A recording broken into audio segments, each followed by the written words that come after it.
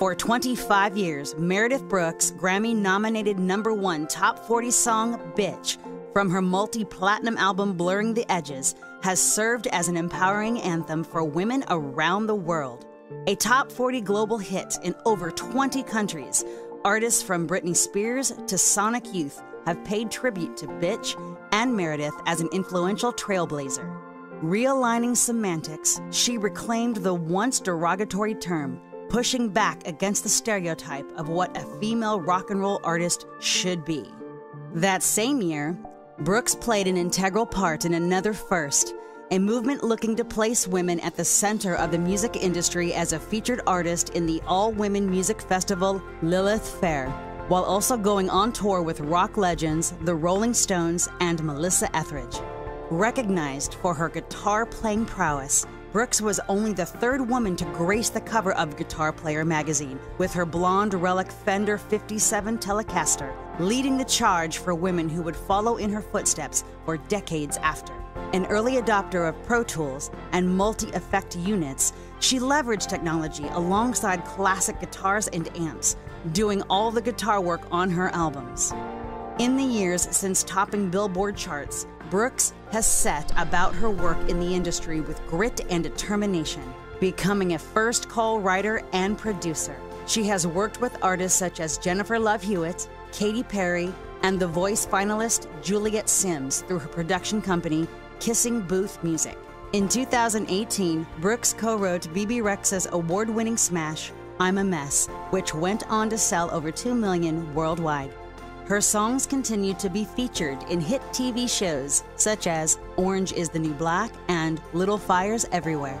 As a multi award winning artist, mentor, and coach, Meredith is exceptional at bringing out the creativity and authentic voice in the new artists of whom she works.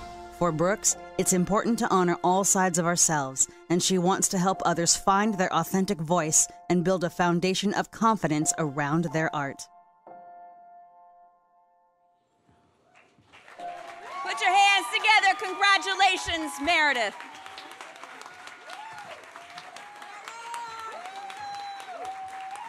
Thank you.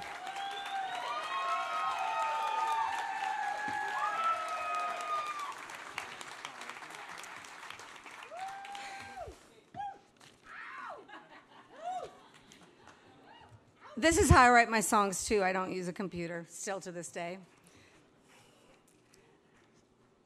I was 11 years old when my sister ran away from home, and when she was leaving, I was chasing her um, down the street, screaming, I'm going to steal your guitar and I'm going to play better than you. I actually thought that would make her turn around and come back.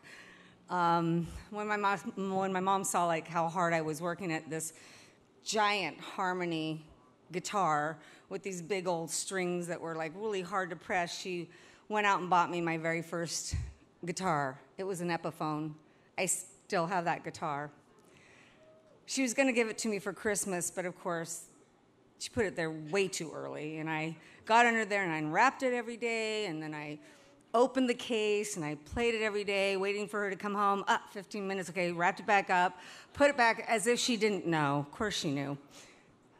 When I was reunited with my sister and she saw how well I was playing, she said, don't just play guitar, you need to play lead guitar.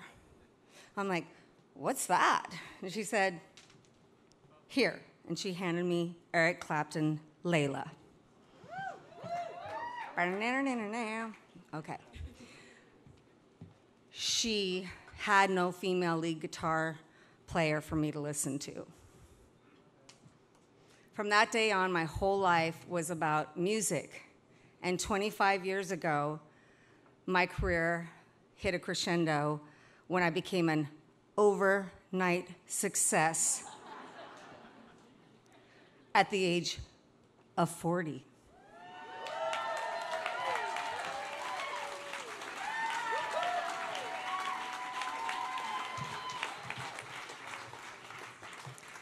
I was on the cover of Guitar Player magazine one of the first three women to ever be on the cover. Can you imagine? I joined the top grossing festival of 1997, 98, 99, Lilith Fair.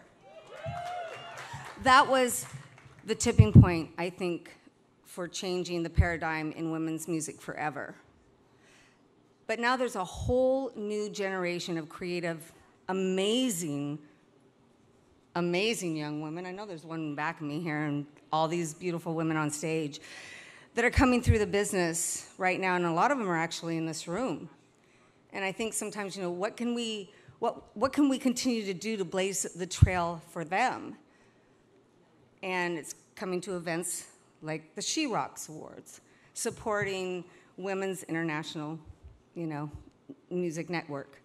So what I'm going to continue to do and what I, I've really grown to love to do is champion the artists I see that are invested in themselves, serve in their sacred circle, share my experiences and my resources.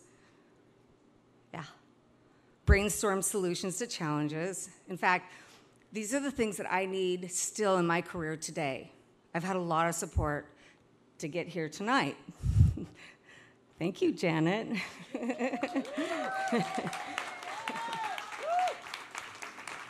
Thank you, Sam. Thank you, Jen. Carmen. Kami. Milk. Wherever she is, she's coming. And um, I want to thank you for recognizing my accomplishments um, to the She Rocks Awards and win. Um, and to, this is where I started writing it because I'm like, you know what, I want to say something a little bit more. Um, I want to say thank you to the person who nominated me for this because she's been a real friend to me, Kim Gardner. Thank you very much. Bonnie Glanter, Laura Whitmore. I know it's been, I think we're friends still. Um, and my family. My family's here. My son, my niece, my friends that have flown in, and they're all sitting at that table. Some of them did my, my makeup even. help me with my clothes, that kind of thing. But this award is actually dedicated to my mom and my sister, because without them, I wouldn't be the woman I am today. And I miss them very much. So.